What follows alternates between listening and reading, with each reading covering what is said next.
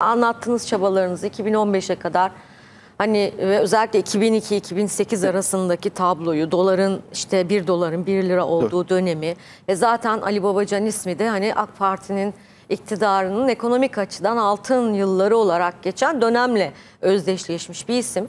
Ama son zamanlarda bu e, eleştiriliyor. Yani e, şöyle mesela görüşler de var. 2002-2008 arası e, hani doların dövizin o kadar düşük olması ithalatı arttırdı. İthalatın e, çok fazla artması üretimin üzerinde bir baskı oluşturdu. Yani üretim gelişemedi. E, ve işte beton ekonomisi denilen şey, o müteahhitlikler, o şey bu şekilde çoğaldı ve aslında altın dönemi olarak bilinen AK Parti'nin ekonomik açıdan altın yılları olarak geçen o dönem bugünkü yaşadığımız ekonomik problemlerin tohumlarının atıldığı dönemdir şeklinde bir eleştiri var. Ve hatta bugün yine e, sanki Meral Akşener'in bugün yaptığı açıklamada Ben o cümleyi satır okuyayım mı hemen? arasında evet böyle bir vurgu ben Tamam. hissettim. En azından O cümle böyle bir şuydu. gönderme hissettim. Evet, Meral Ama bunu Akşener'in- sadece orada görmüyoruz. Tabii, tabii, tabii, Muhalefetin kanaat önderleri arasında yani o dönem dövizin bu kadar Evet. düşük olması hataydı. Çünkü ithalat arttırdı. İthalatın artması üretimi baskıladı gibi yorumlar çok sık gelmeye başlıyor. Ben Peki. bu konudaki görüşünüzü, Şöyle e, ben yani izleyicilerimiz izlememiş olabilirler. Size de soruldu zaten o soru Meral Akşener'in o ifadesi.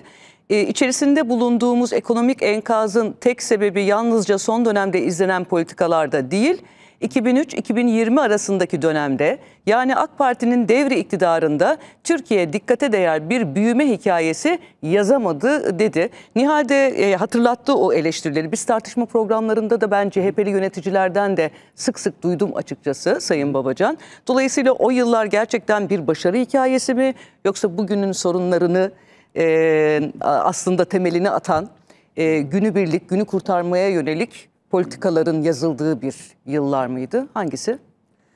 Şöyle, e, tabii yani geçmişi çok uzun uzun konuşabiliriz. Yani 20 yıldan Ama bahsediyoruz. zamanımızda o kadar yok. Biz bugünkü basın toplantımızda artık yarınlarla ilgili 119 maddelik eylem planı açıkladık bakın. Bu 5. eylem planımız. Makroekonomi ve finansla ilgili seçimlerden sonra kurulacak hükümetin ilk 90 gününde, ilk 180 gününde neler yapacağının tam 119 madde. Bunlar somut adımlar. Her bir satırın bütçesi hesap edilmiş durumda ve her bir eyleme de takvim verilmiş durumda. Daha önce tarım eylem planımızı açıkladık. 50 küsür madde. Afet yönetimi eylem planı. Sosyal politikalar eylem planı. Sosyal yardımlar, destekler, engelliler, yaşlı bakım her şey var burada.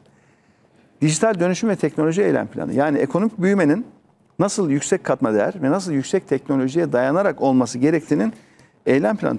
Bakın. Bunların hepsi var. Yarınlarla ilgili geçmişin bütün artılarından ve eksilerinden, geçmişin bütün olumlu ve olumsuz tecrübelerinden hareketle biz bunu yaptık. Ama ben 11 sene bu ülkenin ekonomisinin yönetiminin başında oldum. 11 sene. Ve çok düzgün bir ekiple bunu yaptık. Şimdi uygulama tecrübesi bambaşka bir şeydir. Hayali programlar yazarsınız. ideal bir şeyler yazarsınız, çizersiniz. Ama fiiliyat, uygulama ve bunun tecrübesi çok farklı bir şeydir. Kaldı ki o 2003-2020'de mi çok uzun bir dönemden bahsediyoruz. O dönemde her bir yılın, her bir dönemin kendi içinde ayrı ayrı değerlendirilmesi lazım. Ama hani siz vurgu yaptığınız için özellikle o 2002-2008 dediğiniz için Nihal Hanım sorusuna bakın. Rakam çok açık. 2002'de milli gelir 3600 dolar. 2008'de 11 bin dolar. Aynı dönemde ihracat, üretim dediniz hani üretim olumsuz etkilendi diye. Buradaki ihracatımız 36 milyar dolar. Buradaki ihracatımız 132 milyar dolar. Şu andaki hükümet biliyorsunuz açıklama yapıyor. İhracatımızı %15 artırdık. %10 arttı ihracat. İhracat rekoru kırıyoruz. Ya %10 15 değil katlıya katlıya gitmiş. 36 milyar dolarlık ihracat 132 milyar dolara gitmiş. Burada bakın katlıya katlıya büyümeden bahsediyoruz. İhracat deyince arkasında bunun üretim var, yatırım var, doğrudan sermaye giriş var ülkeye. Bunlar o dönemde yaşandı. Yani Türkiye o gün 3600 dolarlık milli gelire sahipken ta 12 bin doları gördü. Bugün de 8 bin dolarlarda. Ama hatırlarsanız yine 12 bin dolar gördüğü yıllarda ben ne diyordum? Eğitim ve hukuk konusunda gereken yapılmazsa bu ülke orta gelir tuzağına düşecek diyordum. Basın arşivlerini tarayın. Evet, var. Benim en az en az 50 tane o günlerde açıklamam var. Var. Kürsü konuşmaları, televizyon programları. Bunu ne zaman diyordum? Zirveyi gördüğümüz dönemde. Çünkü o dönemde bakıyordum eğitimde ve hukukta gereken yapılmıyor. Hukuk alanı gittikçe örseleniyor. Hukukun üstünlüğü ilkesi işlemiyor. Ve nihayet ne oldu bakın. Orta gelir tuzağına nasıl düşmüşüz? Hem de nasıl yuvarlanıyoruz aşağıya doğru. Ekranda ne kadar görünüyor bilemiyorum ama bakın 12.500 dolardan 8.000 dolara her sene muntazam basamak basamak basamak basamak düşmüş milli gelir. Orta gelir tuzağına yuvarlanarak düşmüşüz. Ya Allah için bir yıl bile milli gelirde ar- artış yok o günden bugüne. Niye? Eğitim ve hukukta gereken yapılmadığı için öyle.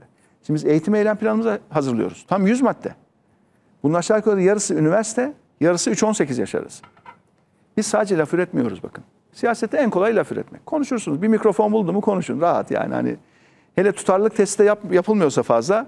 Yani 3 sene önce söylediğiniz tam tersine bir şeyler de şey söylersiniz. daha soracağım bu Tutarlılık testi ama biz iş Hikmet üretiyoruz. Ve da- gerçekten seçim sonrası ilgili çok çok detaylı bir hazırlık yapıyoruz. Bunu kendi uygulama tecrübemizden ve dünyanın uygulama tecrübesinden de istifade ederek yapıyoruz şu anda. Şimdi dış politikamız, siz de Dışişleri Bakanlığı da yaptınız bir daha. Evet. Dış politikamızda e, çok müdahaleci bir çizgi izlemeye başladık. Dünya çevremizde olan her Ekonomiyi olayda- bitirdik mi? Yok bunu ekonomiye Ha, bağladık. tamam peki. E, ve bu e, muhtemelen askeri harcamalarımızı ve milit, militer militarizme yönelik e, fikirleri güçlendirici bir etki yaptı. Ekonomide bunun rolü ne oldu? Yani dışarıda asker bulundurmak ve giderek bunu uluslararası alanda sürekli müdahaleci bir rol oynamak için askeri harcama yapmanız gerekiyor. Doğru. Bu askeri harcamaların ekonomideki rolü nedir? Şöyle, e, Türkiye'nin bütçesine baktığımızda güvenlikle ilgili harcamalar, özellikle askeri harcamalar böyle ekonomik büyümeye mani olan ya da ekonomik büyümeyi destekleyen bir nitelikte değildir. Yani sadece o askeri yap, harcamalarınız 1 milyar dolar, 3 milyar dolar, 5 milyar dolar hani neyse bir operasyon olur sahada bir şey gerekir. Bunların doğrudan ekonomiye etkisi ihmal edilir seviyededir. Yani ülkenin çok dış operasyonu var, çok para harcıyor. Onun için ekonomi bozuluyor. Bağlantı öyle yürümüyor. Hiç alakası Dış- yok mu? Çok zayıf bir bağlantı o. Çok zayıf. Yani e, önemli olan bu dış operasyonların ülkenin istikrarına katkısı. Yani eğer dış güvenlik operasyonu olsun, içeride yapabileceğiniz şeyler olsun. Eğer istikrara katkı sağlıyorsa o istikrarın getirdiği ekonomik fayda çok daha büyük olur.